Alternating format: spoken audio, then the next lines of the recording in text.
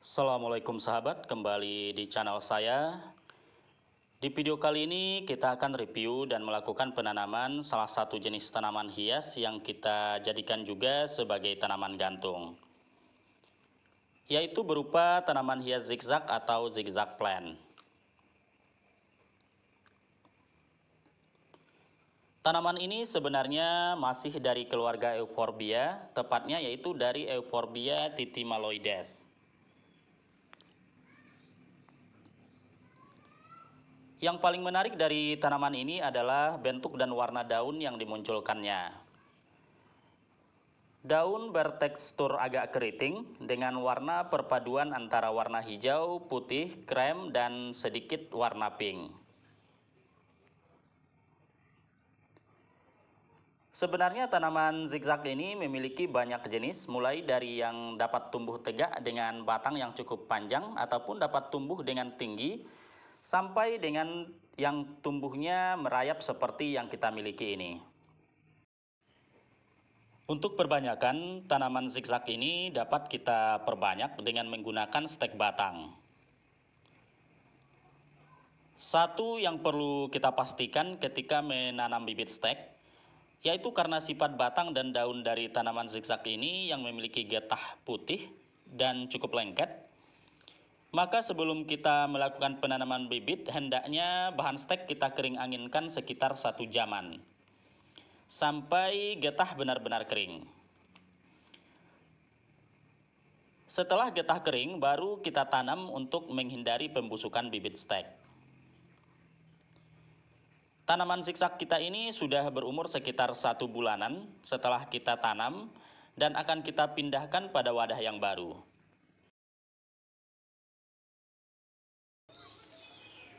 Kita akan memindahkan pada pot gantung dengan ukuran pot yang cukup kecil. Kita pilih pot gantung karena memang cara tumbuh dari tanaman zigzag kita ini adalah merayap, sehingga lebih menarik ketika kita gantung nantinya.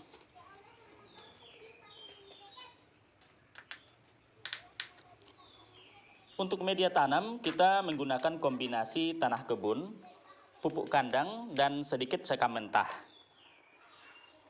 Di sini kita juga menggunakan proporsi pupuk kandang yang jauh lebih banyak ketimbang daripada oh, media lainnya. Semua media tanam kita campur merata, baru tanaman zigzag kita kita tanam pada wadah yang baru.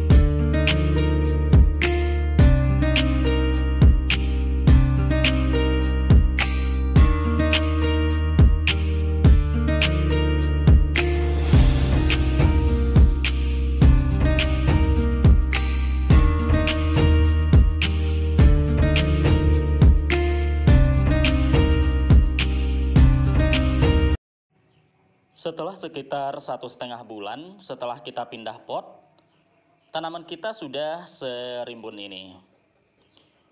Dan untuk perawatan, sebenarnya tanaman ini termasuk tanaman yang minim perawatan. Zigzag plant dapat kita tempatkan di tempat yang terlindung maupun di tempat yang terbuka atau di tempat yang terkena cahaya matahari langsung. Bahkan sebenarnya warna daun akan lebih indah akan lebih keluar jika tanaman ini kita tempatkan di tempat yang terbuka. Kita lakukan penyiraman jika media tanam sudah cukup kering.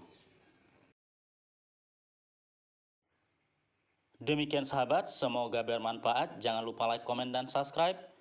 Sampai jumpa di video kita selanjutnya. Terima kasih. Wassalamualaikum warahmatullahi wabarakatuh.